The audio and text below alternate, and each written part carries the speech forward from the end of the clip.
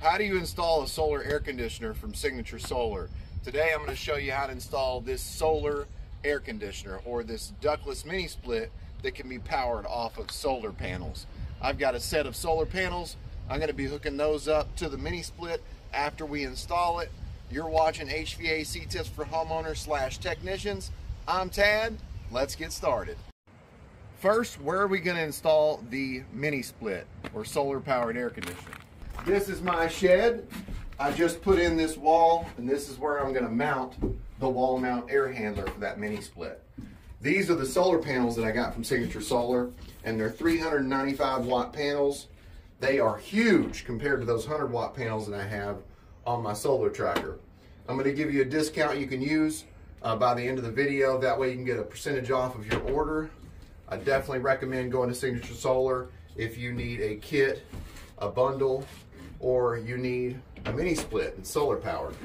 So mounting the wall mount air handler here, I've got a PV isolator or disconnect for that mini split. I've got some 10 AWG PV wire. Let's go ahead and unbox that mini split.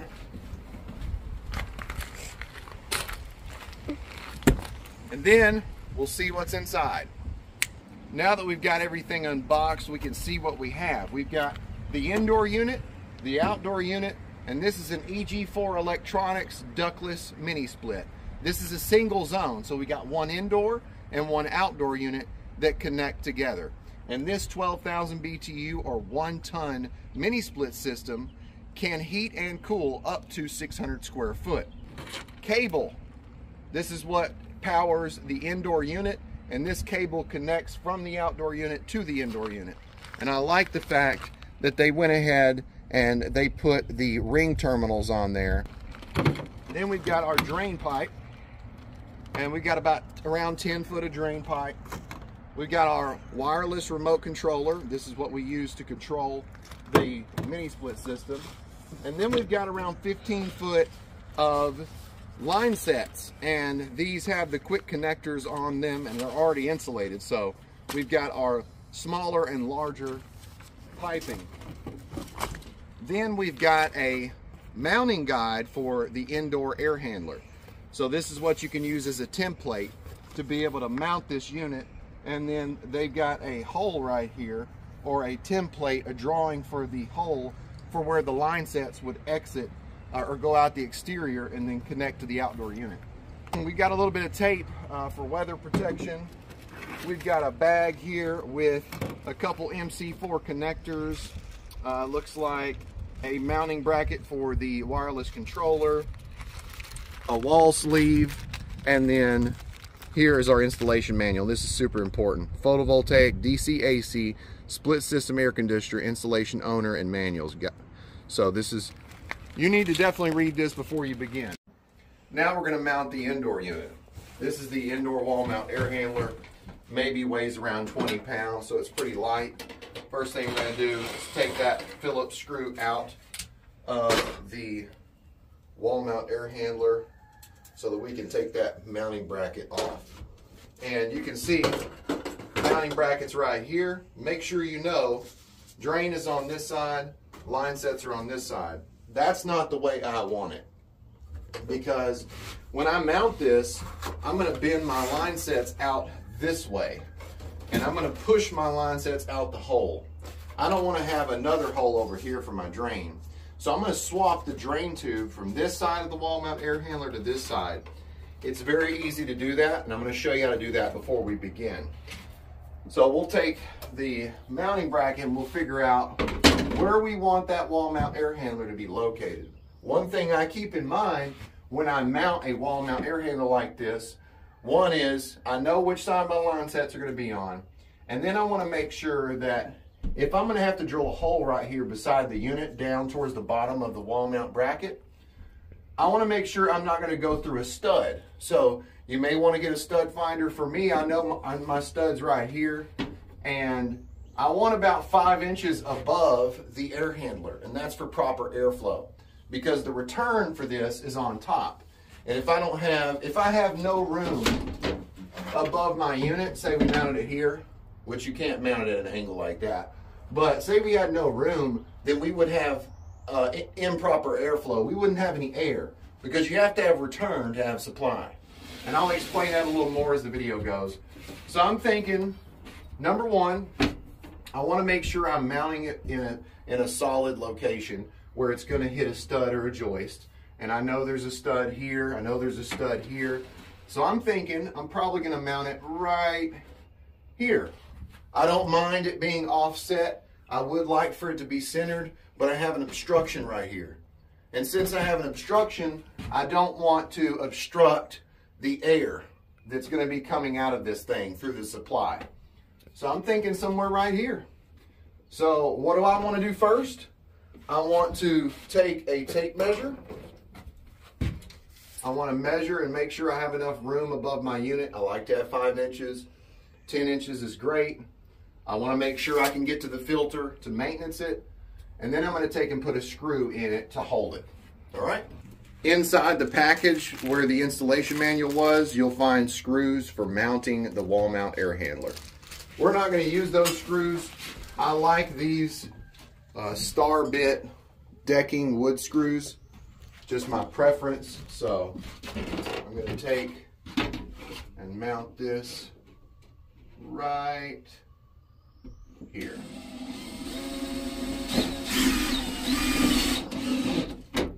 And once I put one screw in there, then I'm going to get my level and put my level on here. And once I know which side my drain's going to be on, that's the side I need to angle uh, the unit towards. That way I have proper drainage. We don't have water staying inside the pan. So I'll take a look at my level and let's put it in the middle and then you can see right there is level and I'm going to go up towards the right just a little bit. So yeah, that's where I will screw it in. Now let's put the rest of the screws in here. I'm going to put about five screws in this mounting bracket. One at the bottom hook, one at the top on each side, and then one in the middle. All right, and there's our bracket on the wall. When you get your mounting bracket secured on the wall where you want it, then you can take and put the indoor wall mount air handler on that bracket. And the way you put it on the bracket is very simple. You see the hooks at the top? All right, there are spots on the air handler that go over those hooks. This area and this area. So what you do is you just take, put it up here like this. And then you can see how it looks. You can put the level back on it. How does it look with the level? To me, stepping back, mm, looks pretty good. Now, we can move our drain, and then we can get ready to cut a hole in the wall and I'll show you what tool I'm going to use to do that. Let's move the drain line. So we're going to come in here with the needle nose pliers. We're going to take this little rubber piece out of the other drain pipe location for this indoor wall mount air handler. And then we're going to come over here and you can see there's a little hook right here. You want to turn this and then take it out because you don't want to pull it because you're going to bend this hook. This is what keeps that drain pipe or the drain hose connected to that uh, pipe connection. So over here, we take and put this in like this. And then once we get it all the way in there, then we turn it. And that's what secures it. And then this piece right here, we're going to put this in the location where that drain pipe hose was. And to put it all the way in there, we need to get maybe a Phillips screwdriver so we can press that in. I'm going to use the other end of this bit that's not sharp to push this piece in here. That way it's secured. Yep, it's secured. Quite tough. All right, there we go. Now, the drain and the line sets will both come out on the right hand side of the wall mount air handler. And now I can go ahead and drill my hole. To make our hole through the wall, we're gonna be using a hole saw kit. This is what I use for most of my mini split installs. For the location of the hole, you can hold the template back up here if you want.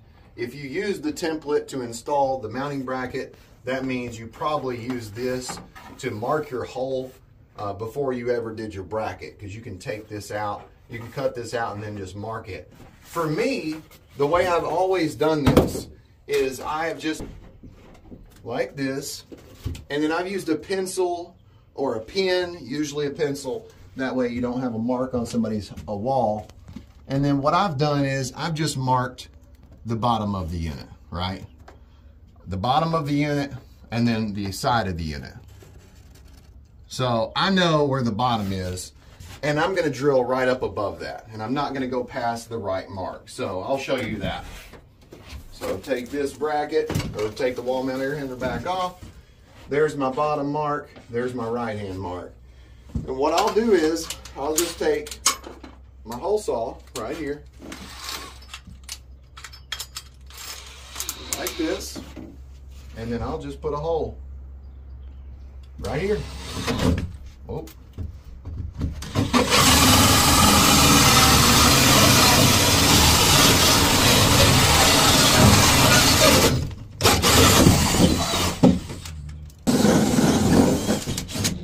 And there's our hole all the way through. Look at that. What size hole saw should you use? For the template, it looks like it's two and a half inch diameter. I used a three inch, you can use a two and a half, and that'll be plenty of room for you to actually fit your line sets, the cable connecting the indoor and outdoor unit, and the drain pipe. Now you can use the wall sleeve to make sure that you have a barrier in between those line sets and the cable and the material of your wall. That way you don't damage uh, any of the insulation on the line sets. I'm using some PVC as a sleeve. So I'll take that three inch PVC and look, fits perfectly. Now I'm gonna be making this mini split job a lot easier for myself using the Mighty Bracket. This is an installation support tool. I'm gonna unbox this and show you how this works. This is a little carrying case for the Mighty Bracket. And this is a great tool if you're doing a mini split install by yourself.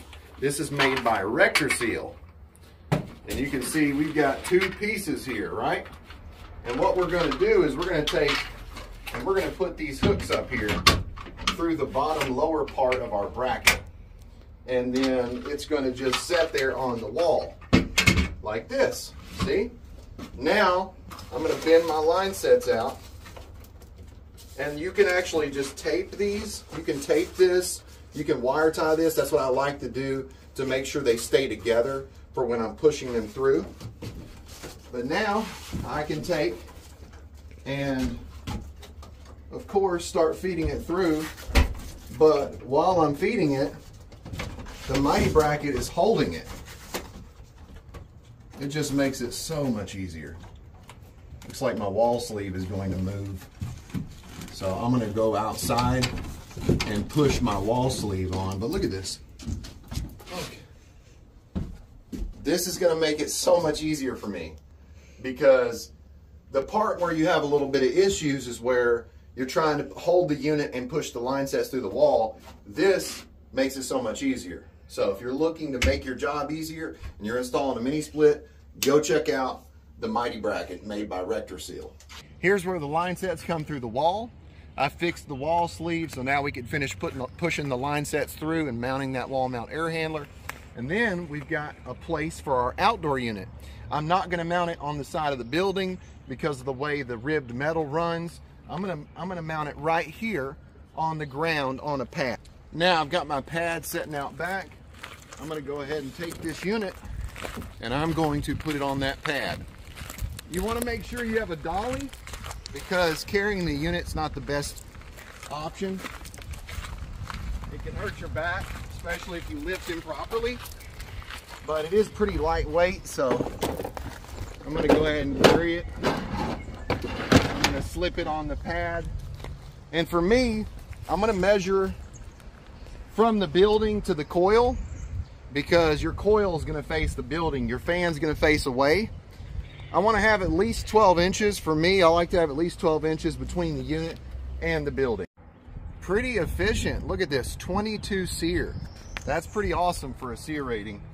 Before I push the line sets all the way through the wall, I'm going to take and feed my cable inside for that indoor air handler. I want to make sure that I wire it up and it's as easy as possible. So now we can feed our power cable in to our indoor unit. There's a knockout in here. See the knockout? Much easier to feed that wire in with the unit off the wall. So I'm going to take this cover off with a Phillips screwdriver.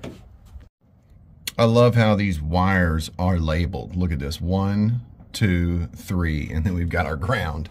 So you can't mess that up. Look at this. One, two, three, and then ground once you get that uh, cover off for the electrical connections. Now we can take and feed this wire in. And we can make it super simple. And your wire should come up through there and then you can pull it up to your connections. Now that we've got our power cable for the indoor unit inside the location where it's supposed to be so we can connect those wires, now we can take and push the line sets through the wall and then mount the unit up on the bracket. And then we can take our mighty bracket off. See? There. And right there.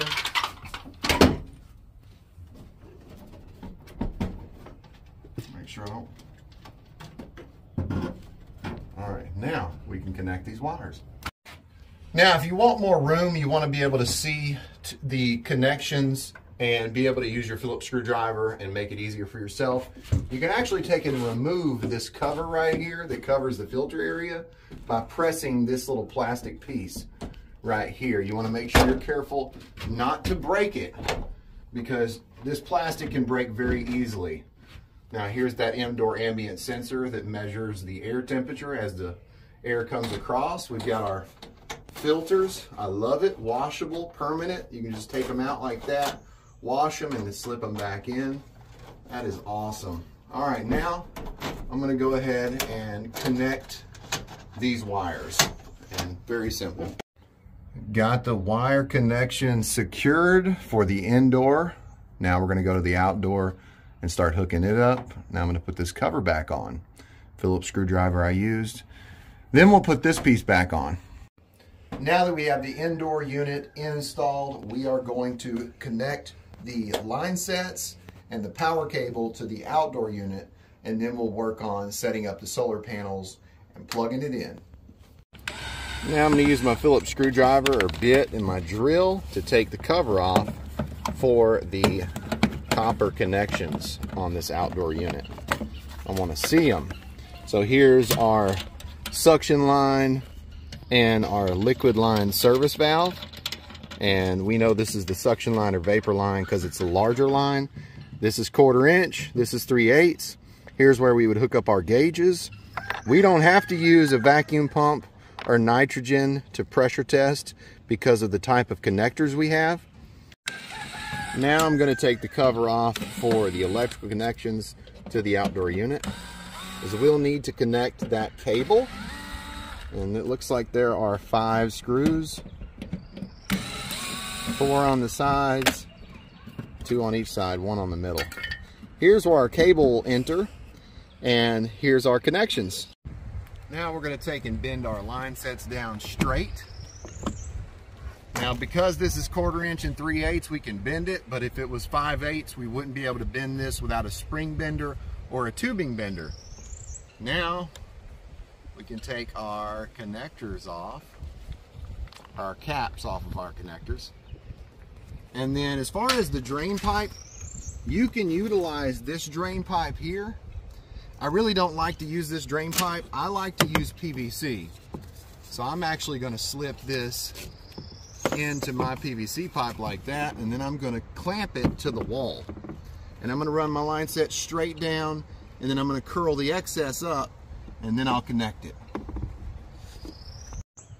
I'm using this one hole clamp to make sure that my drain line is secured to the wall.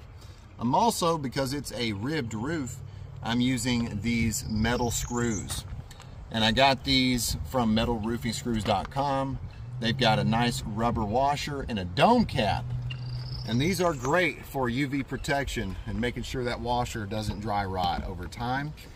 If you want to get some metal roofing screws, check out metalroofingscrews.com. Use code TADDY5 for 5% off. I'll put the link in the description.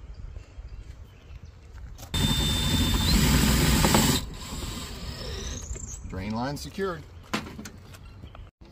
Now to connect the cable inside, I'll need to take out this fitting here. And then I'm going to take, because see this? I'm going to take and, which you could probably drill through this and then insert your cable, but I'm not going to do that. I'm going to take and put a half inch connector in here. So I'm going to take my wires and slide them through my half inch connector like this. And then I'll just take and feed those wires up through this hole here where our electrical connections, our terminals are. And then I'll slide this piece over the wires. So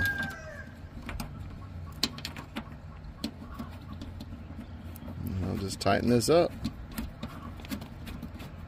I'll go ahead and wire this up and then we'll start on the line sets. Connecting the ground wire to the ground screw. Connecting wire labeled 1 to terminal labeled 1. Connecting wire labeled 2 to terminal number 2. Connecting wire labeled 3 to terminal labeled 3. If you're unsure of the wiring for this mini split system, you can actually look at the rated voltage. It says 115 volt AC or DC 90 to 380 volt solar air conditioner. And inside the installation manual, you'll see a wiring diagram. And you'll see how we can connect our solar panels to a DC switch and then to the red and the black PV connector provided with this outdoor unit. Or we can supply 115 volt power to the N and the L that feed uh, the brown and blue wire. So brown and blue wire, N and L, I can take and supply it with 115 volt. Make sure you have the right breaker size and you can find out what your breaker size needs to be by looking at this.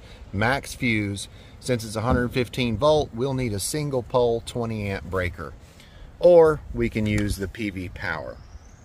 Now they make, looks like models that are 230 and 115 and they have different sizes. I think they offer a 12K, which is one ton, an 18K, which is one and a half, and a two ton, which is uh, 24,000 BTU. Now we're gonna bend our line sets out as close as we can get them to where they're gonna be installed. Take off these protective caps and your smaller line quick connectors go together. Larger line, quick connectors go together. We're to screw those in. And then we'll want to use a couple crescent wrenches, that way, adjustable crescent wrenches, that way we can get it tight.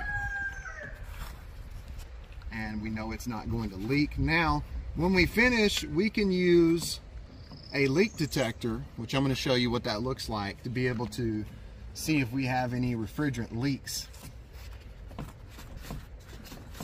I'm not going to tighten these up all the way, not until I get the line sets where I want them. I've got the line sets where I want them. I've got a cover for those line sets.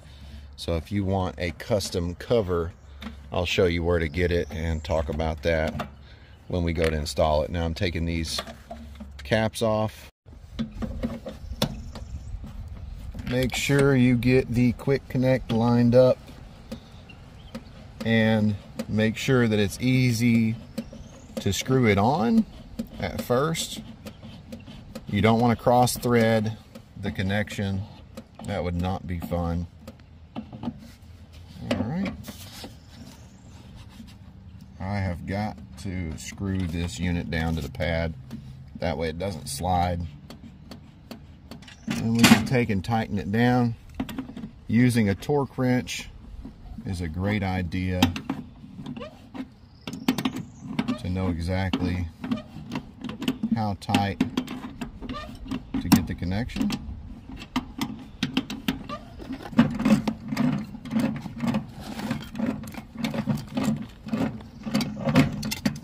that feels like it's getting tight.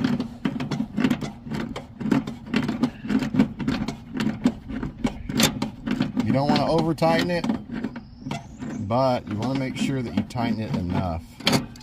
All right, that's definitely hand tight. All right, that right there, about a quarter turn, maybe a half a turn past hand tight. Yep. When you see the copper start to turn, that's enough. Now to tighten up those connections at the indoor, I'm going to take and use a crescent wrench. Two crescent wrenches is ideal.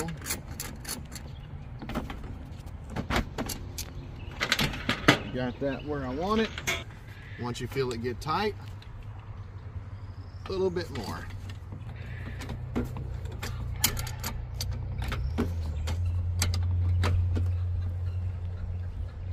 And it's tight. I like to make sure that we don't have any leaks before I wire tie all of this together and then I put my cover on for my line sets.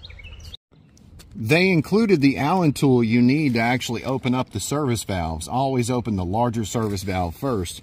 But I have a set of Allen tools, so I'm just going to use this. Open up that larger service valve first. And then open up the smaller service valve. I don't hear any leaks. Usually I use nitrogen and pressure test and then I use soap and water, soap and bubbles to test every connection. But we're not doing that because these types of line sets are a little bit different. The connectors are. And we don't have to do a pressure test, use a vacuum pump, use nitrogen. And that's why this is good for somebody who is a DIYer, somebody who is a homeowner could actually do this install. Um, I wouldn't suggest it if you're not familiar with working with electricity and you just are not comfortable, I would hire a professional. After you install your connectors for your copper lines, make sure you install these. This is called in the manual the anti-decoupling ring. And this keeps the copper tube from falling off. So we're gonna install one there. And we're gonna install one right here. And then we're gonna install the other two on the other two connectors. This is a refrigerant leak detector and it's made by Inficon and you can actually turn it on. And I really need a new one because this one's, it's been through it. I've had it many years.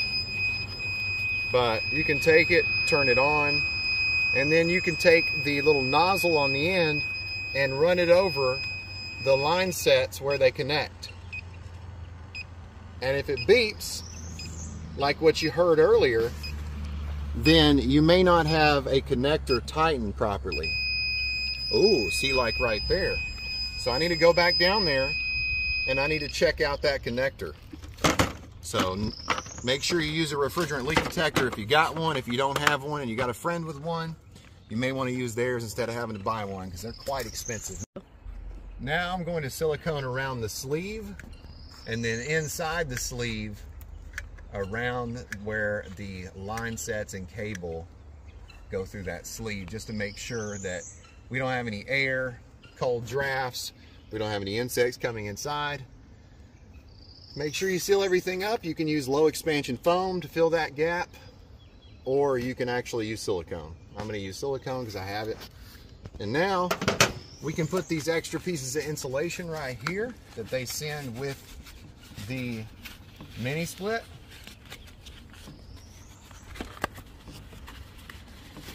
Like this. And then we can put this around it. This right here is what they sent, so you can use this to tape around it. I really don't like this stuff. I like to use wire ties. I'm a wire tie guy.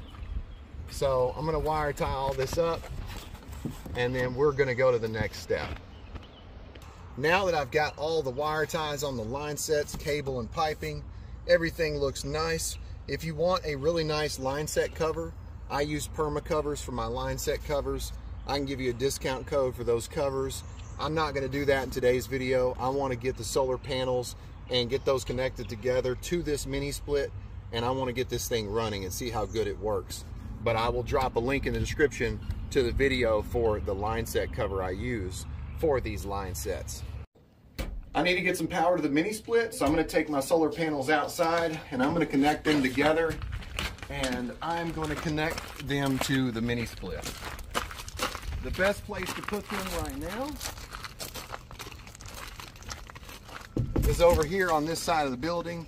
And I think I can get three lined up and angle them against the shed. That way the sun will hit it and power that mini split so we can check it out, see how good it works. If you want to see the video of me mounting these solar panels, then stay tuned. Okay, so I've got three of these 395 watt panels leaning up against my shed temporarily. Got my PV wire. You can see how it's connected in series. And then the other two wires are coming over here. Now, this is just for temporary. I want to see how this thing works. I'm not going to mount the PV disconnect on the wall until I get my panels mounted on either a ground mount. I'm probably not going to put them on my shed. I'm not sure how I'm going to mount them yet. If you got any suggestions, let me know.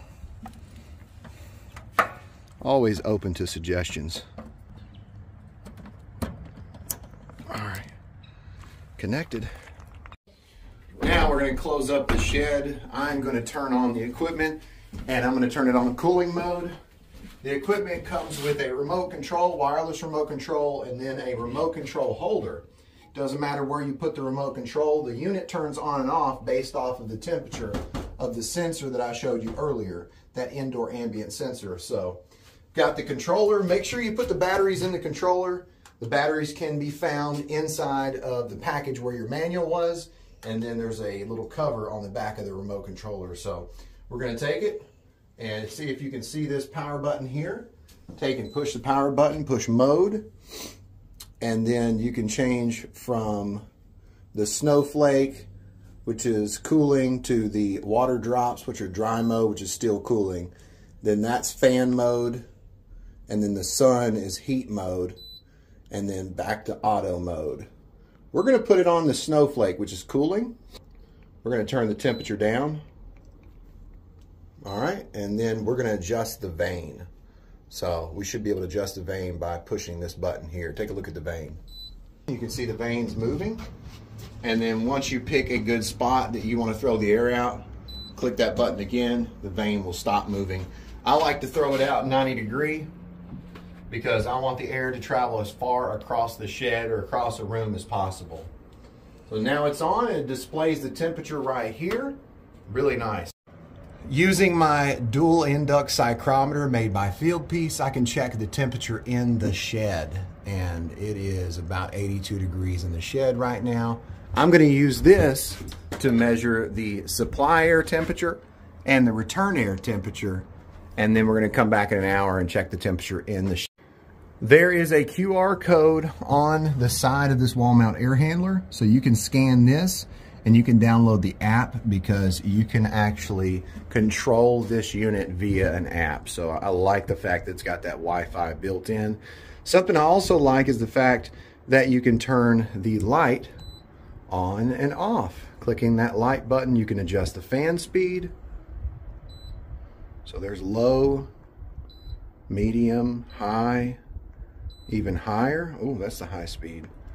I like to keep it right here because that's auto and that will automatically adjust indoor uh, fan speed to match compressor speed. All right, let's let it run. Outdoor fan is working. It's running, you can hear it. That is awesome. It's been exactly 30 minutes. Right now, using my dual induct psychrometer, says about 71 degrees. So let's check over here. Right above the return, 72 degrees.